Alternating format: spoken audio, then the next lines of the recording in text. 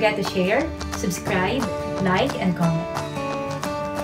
In the last video lesson, you have learned how to solve exponential equations. This time, we will be solving exponential inequalities. Before we delve into it, take note of this property. The property of exponential inequalities states that if b is greater than 1, then the exponential function y equals b to the x is increasing for all x's. This means that b to the x is less than b to the y if and only if x is less than y. Moreover, it states that if b is greater than 0 but less than 1, then the exponential function y equals b to the x is decreasing for all x's. This means that b to the x is greater than b to the y if and only if x is less than 1. Example 1. Solve for x in 3 raised to the x minus 2 power is not equal to 27 to the x minus 7 power. So this is the given inequality. Just like in solving exponential equations, in solving an exponential inequality, since the unknown variable is in the numerator, then the first goal to meet is to rewrite it uh, with the same basis. In terms of 3, how will we write 27? We know that this is 3 cubed, so this part may be rewritten as 3 cubed. And then by power rule for exponents, since we have two exponents for 3 here, this will be multiplied. So 3 times x and 3 times negative 7. So the right hand side will become 3 raised to the 3x minus 21 power. Notice that the inequality has the same or equal bases in the left and the hand in the and the right hand side of the inequality. So this time we may now equate their exponents. x minus 2 is not equal to 3x minus 21. And then by addition property of inequality, we will add negative 3x to both sides and positive 2 to both sides in order to combine like terms. So we'll get negative 2x is not equal to negative 19. And then by applying MPI or multiplication property of inequality, we will divide both sides by negative 2 or both sides multiply both sides by negative 1 half and we'll arrive at x is not equal to 19 over 2. So x may take any real number aside from 19 over 2. Example 2. Solve the exponential inequality 2 to the 4x power is less than 5 over 10. This is the given inequality. We are going to solve for the unknown variable exponent. Again, for us to solve an exponential inequality, we must express both sides as terms with the same basis. How will we make 5 over 10 2 or the other way around?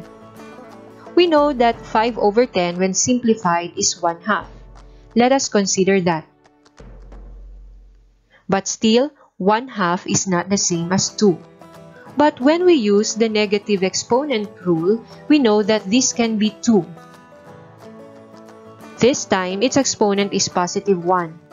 By using that rule, when placed in the numerator, it will become negative 1.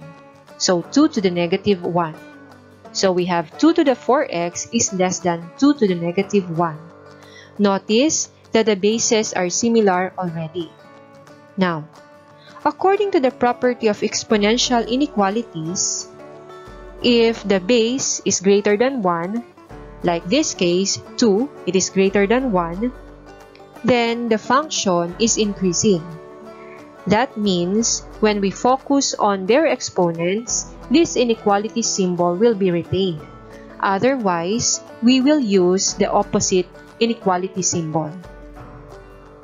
So that means 4x is less than negative 1. The less than symbol is retained. Now, to solve for x, we will use properties of inequality. In this case, we will use multiplication property of inequality by dividing both sides by 4 or by multiplying both sides by 1 fourth. So we will get x is less than negative 1 fourth. Example 3. Solve for n in 1 fourth raised to the 3n power is less than or equal to 1 over 64 to the 2n plus 1 power. Let us again copy the given. So this is the given inequality.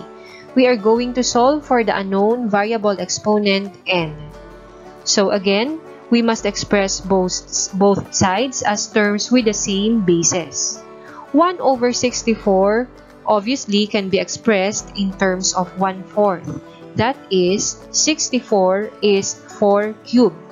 1 can also be 1 cubed.